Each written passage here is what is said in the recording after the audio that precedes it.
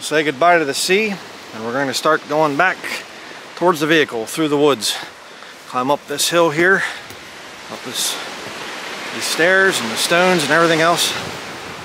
And um, I want to talk about the what the real agenda is behind this whole illegal immigration thing. Notice I said illegal immigration. There is such a thing as immigration. People intend to come to a country and they want to live like the people there and whatever. And uh, I'm not going to argue about all that stuff. I'm just going to say that this video is about people coming here illegally, not caring about the culture, not caring about our laws and our rules. And I've seen that stuff for years. Um, and it really makes me angry. I remember for all my Pennsylvania viewers, southeastern Pennsylvania, Lancaster and Berks County, Lebanon County, that area. I was born and raised in Lancaster County. And uh, there was a river, the Tulpehocken River. And um, these illegals would come there and there was a area that was delayed harvest, it was called. Um, fly fishing only. Or ultralight spinning rods, which is what I used. And um, these illegals would come in and they would literally take trash bags of fish out of that area. Completely Ill illegal. Poaching. And uh, most of the guys that fished there, including myself, we were strict catch and release. Uh, because it's the right thing to do in a special area like that with game fish, but mainly because the uh, River goes through Blue Marsh Lake. Um, Army Corps of Engineers dammed up the one area and created Blue Marsh Lake. And Blue Marsh Lake has a lot of outboard motors cruising around, which makes for very high mercury levels. So actually the illegal aliens, they think, ha ha, stupid Americans with all their rules. You can only eat, you should only eat uh, two fish out of the Tulpehocken River every month. Oh, not where we come from. Where we come from, we'll just come down and we'll fish. And we'll take as many as we want. Well, then you're going to have very high mercury levels in your blood. And uh, you're going to die. You're going to get cancer. Good one. Um, see, that's the whole point. A lot of these illegals, they come here and they just think Americans are dumb Americans are greedy, stupid people, and we can just kind of make our own laws and make our own rules and whatnot. Um, that's not advisable. America, the old America, has a long history of rule of law and just laws that come from the Christian Bible um, that are based on scripture unalienable rights uh, that come from God. And if you want to be intelligent and you want to move here, then you better learn to respect those laws. That's what you need to do. But uh, what's the real issue with this illegal alien thing? Uh, all these immigrants coming in and all throughout Europe. Well, it's being done on purpose. And I'm going to just not mince any words here. I'm just going to say it as it is. What's really going on? There's a war to kill off white people. WASPs. White Anglo-Saxon Protestants. Because you see, the end times kingdom that the Bible describes is one of iron and miry clay. Roman and miry clay is a reference to Israel to Jews that have mingled themselves. Uh, you get to the later part of the Old Testament, the books of Ezra and Nehemiah, they're being rebuked by God for mingling. Tight little fit in through there. Sorry, I'm a little bit out of breath here. Got a lot of weight on me here with the camera bag. There's uh, my camera equipment plus uh, um, shall I say, as one YouTuber says it, uh, a seed dispenser as well as seeds, Liberty Seeds. Um, and it's not a polymer uh, seed dispenser. It's a 1911 seed dispenser. I'll leave it at that. But um, this illegal immigration thing is being designed. You don't see them sending illegal immigrants into Hamitic countries or Shemitic countries. The illegals are being brought into historically white uh, Anglo-Saxon countries like that. I mean, where are the uh, millions, tens of millions of illegals pouring into Russia? I don't see them. And I consider Russian people to be Northern European. Don't get me wrong, but what I'm saying is uh, the Catholic Church doesn't have a whole lot to worry about when it comes to the um, uh, Russian Orthodox system because the Russian Orthodox system is already kind of in bed with the Roman Catholic Church. They both overthrow the scriptures with their traditions, which they have created, so they're not really a threat. Um, you never saw any kind of real extremely strong world-changing Bible-believing movement coming out of Russia. Um, unfortunately. Russian men are strong men, don't get me wrong, but uh, not really a threat to the Vatican um, or Jesuitry. Hold on a second here. Yeah, that way. All right, but I'm going to read from the scriptures here um, to make sure I get some Bible into the video here. So it's not just me talking. Acts chapter 17. We'll go there. Hopefully the wind's not too bad. I like to do these walk and talks. I've gotten a lot of positive feedback. People like them as well because it's not just a thing of me in the office or standing out there with my camera on a tripod. It's actually like you get to you know go for a walk with me. The scenery changes. So you're not just looking at my face the whole time. That's a terrible punishment isn't it? Um, Acts chapter 17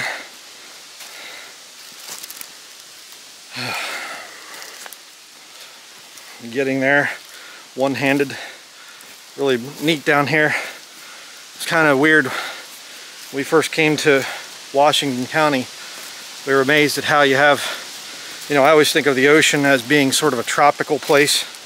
Like I said in another video, I've been to the Caribbean, down in Costa Rica with all the jungles and everything.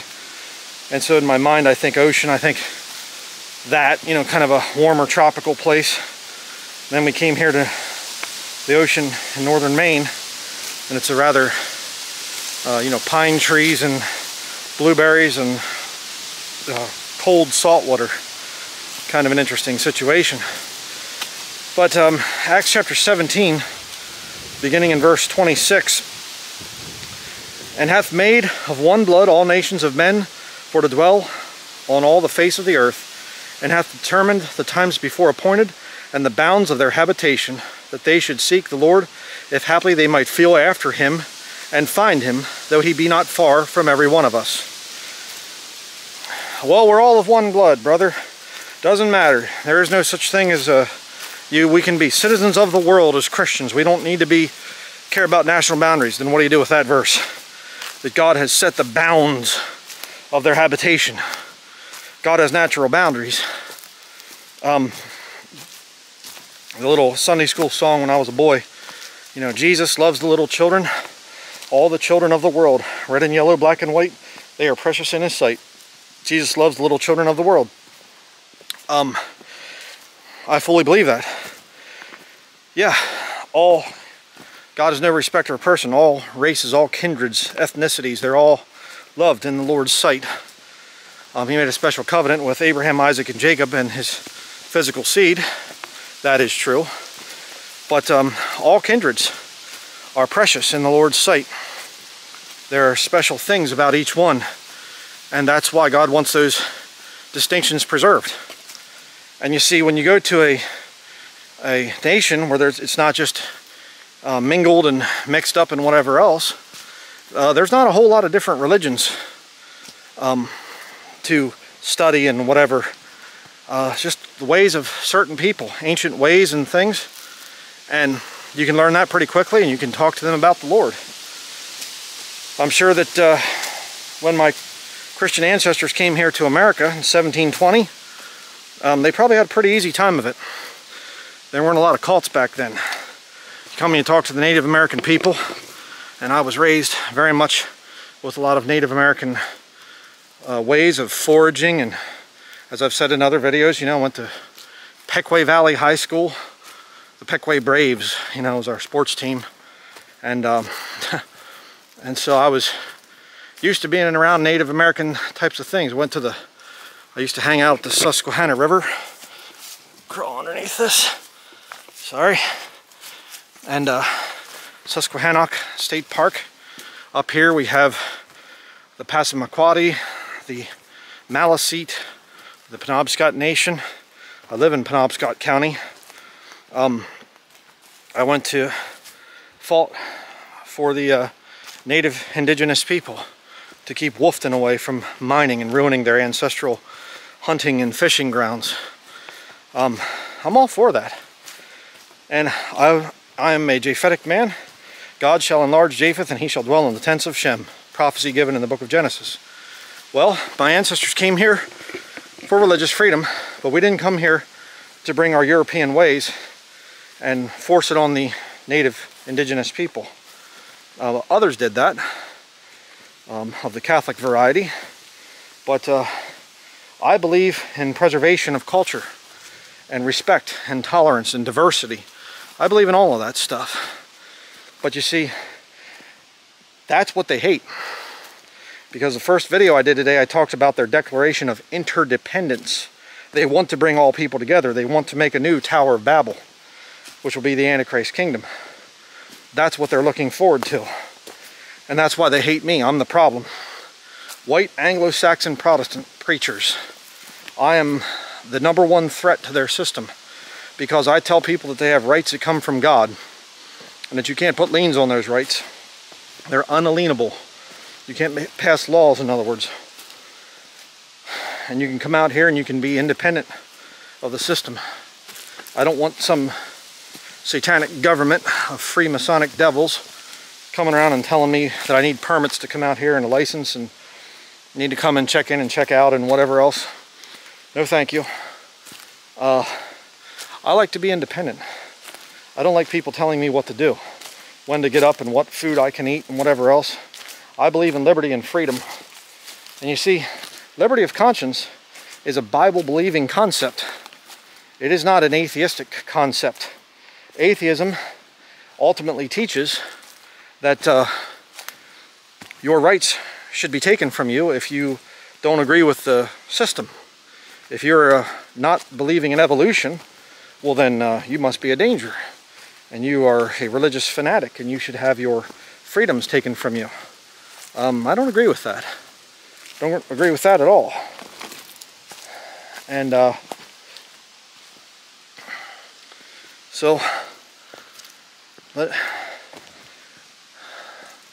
Looks like we're getting back out here to some running water.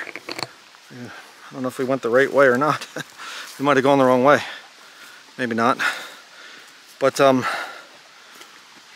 I just think that this whole illegal immigration thing, I mean, we have to wake up to the fact, brethren, that there are people out there that are anti-white. They hate white people. It's kind of weird to think on, but it's the truth. So I'll get back with you here in a little bit to see what's going on with this trail thing. So check back with you in a few minutes. All right, I'm back with you here. They wanted to go down to see a bog brook, it was called. And um, doing the balancing act here again. If you can see this, probably not. You can kind of see it behind me there. But uh, getting back to what I was saying, um, we have to realize uh, that we are literally being attacked just because we're white out there. To all my fellow WASPs out there, white Anglo-Saxon Protestants.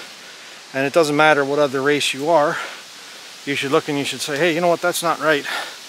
If I saw black brethren being, uh, you know, they're the media trying to demonize them and say black uh, Protestant types, you know, I'd defend you. Uh, we shouldn't be for any racial discrimination. Say, well, whites did such evil things. Well, that's a stupid statement. A lot of white people never did anything to persecute anyone like that.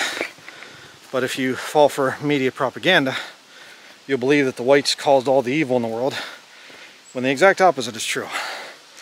White Anglo-Saxon Protestant culture brought in a lot of the great things that we have today, including the rule of law. Um, but that's what they want to break down with all this illegal immigration. And uh, again, there are certain things that we're supposed to fight for. And um, Lord Jesus Christ in Luke chapter 22 told his disciples that they were to sell their garment and buy a sword if they didn't have one. And uh, early on, the British people, and I'm sure the Germans as well, were allowed to have firearms. And then they were taken away in the past. And oh, it's okay, we don't need firearms. Well, how's that working out for you now? With your, with your speech being censored and men being taken and put in prison by the tyrants over there. Um, the Second Amendment, the right to keep and bear arms, is about protecting yourself from tyranny. It isn't about preserving your rights to go, you know, shoot a duck or something. That's not what it's about. And the idea, the concept there is more guns means more peace. You have um, the gun culture being very strong here in America, extremely strong. And uh, the gun manufacturers, they like that money. And they just keep on putting out new guns, and which is great because it keeps us free. Uh, you say, well, the Lord, uh, the Lord told us to buy guns, or buy a sword, excuse me. But the modern equivalent of that, a defensive weapon, would be the gun. And um, so, you know, if you're in the UK, well, or in other European countries, unfortunately, you've already had your rights violated, seriously. And if you can get those back someday by fighting for that, I hope you do. Because you'd sleep a lot better at night. Um, you know, there are I'm right now I'm not worried about anything. Um, I could be attacked by two-legged cre creatures or four-legged creatures. I know how to use what I have, and I would use it.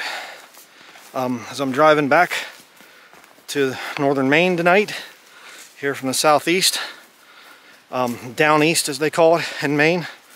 As I'm traveling back on the road, some guy gets an attitude or whatever else, and he's a little bit nuts in the head or something, um, coming off of a drug high and his brain isn't quite working right or whatever else, can't be reasoned with, well, I have the ability to defend myself and my wife. Um, I mean, right now, uh, literally when you come into this place, they said that uh, the sign says there's limited cell phone coverage here. Uh, I don't have a cell phone, don't have a smartphone. Um, but if I did, and all of a sudden I round the corner and I hear my wife and my son up there screaming ahead of me, and I look and there's a bunch of bad guys touching them, uh, I can't just get my cell phone out. Probably wouldn't work, and even if it did, how long is it going to take for the police to get here? Well, then I guess I have to pull some kind of kung fu or karate or some kind of... No. Um, and I have pulled my firearm on different people over the years in a defensive manner. And thankfully, I've never had to shoot anybody. But I've been prepared, I've been ready. And uh, I would have done it if needed to, if I needed to. Um, there are certain aspects of life, brethren, that practical things that you have to think about. Uh, my God shall supply all your need according to his riches and glory by Christ Jesus, okay? Does that mean you have to work for a living? God can provide all your needs. See? You can get philosophical and say, well, you don't really need a firearm because God can protect you and defend you and yeah, yeah. if you can't get one, well, okay, you have to rely on that. But if you can get one, get one. Um, defend liberty, defend freedom. And uh, I'm seeing stuff about these illegals. Now they're just going around and, you know, they walk in through parks and city parks and they see a duck or Canadian goose or whatever and they're killing them. Just take them and eat them. They don't care. They don't mind at all. As I stated earlier about the illegals years ago, just taking out trash bags full of fish. They were too stupid to even realize that they were toxic. And you know, and we would look over at them and say, you know, you're not supposed to do that or whatever, and just glare at us. Shut up, stupid American. Um, I've been in foreign countries. You don't do that to the people that live there. You show respect for the people that live there. But you know, American white men have been demonized so much over the years that people think that we're the the devil's men or something else not realizing that all the civil liberties that are out there in the world uh, come from white men coming out and bringing out that stuff. I don't really care what you think about that, it's the truth. So, what's the satanic illegal immigration thing all about? It's about destroying white people and white culture. Um, that's what's standing in the way of their New World Order that they want so bad. Um, men like me, preachers like me. And I know a lot of you appreciate me and what I do. You realize the sacrifices that I make. Um, I could just be out here today enjoying time with my wife and my son. This is part of what he wanted for his birthday, by the way, to come down here. And I could be out here just doing this and I'll get back to YouTube whenever I can but I take my camera along and I want to talk to you about the Word of God as I'm walking along. So, and why? Why do I do this? Um, because I want to take every chance I can to get the truth out. The Bible says, redeeming the time because the days are evil. And the days are evil now. I would say the only time when it was more evil than this was before the flood in the days of Noah. And uh, if you think that's an exaggeration, you say, well, it's not really that bad. Oh, you'll change your tune before real long because it's just going to get worse. But um, understand, my whole point of making this video, there's no compromise. You have to be willing to die for your beliefs. Stand up for what is right. You have a biblical precedent that there are supposed to be boundaries that people are not supposed to cross. Uh, nations are supposed to have the rule of law. Rulers are not supposed to be a terror to the good, but to the evil. Uh, they're supposed to bear the sword and be a revenger on all those who are, do are doing evil things. And these illegal immigrants, they're doing a lot of evil, evil things. You say, well, Brother Bryan, shouldn't we think about preaching the gospel? How can we get the gospel to these Ill illegals?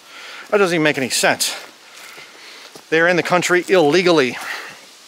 They're knowingly in sin, knowingly doing wicked things. Um, you say, well, you could preach to them, brother, and they could repent and and get saved. Yeah, and then you know what they would do? If they truly, genuinely got born again and they understood the scriptures, they would follow Acts chapter 17, verse 26 through 27, and they'd get right back home to their home country. That's what they would do. You have no argument if you just want to do some kind of nice little thing of brother, we should preach the gospel to these people and whatever. Well, preach the gospel to them if the Lord calls you to do it, if the Lord opens up a door of opportunity. But you know what? If they profess to be saved, that you say, get on the first airplane, get on the first boat, whatever, and get out of here. And uh, the other thing that I despise and hate about all this illegal immigration stuff is that these people come here, they're coming here for the free money. That's why they're here. Don't kid me. Oh no, brother. No, they're here to, to work and take the jobs that the American people aren't willing to do. Nonsense. You know, and I know a lot of teenagers, by the way, um, they're saying, hey, you know something? I would do those jobs.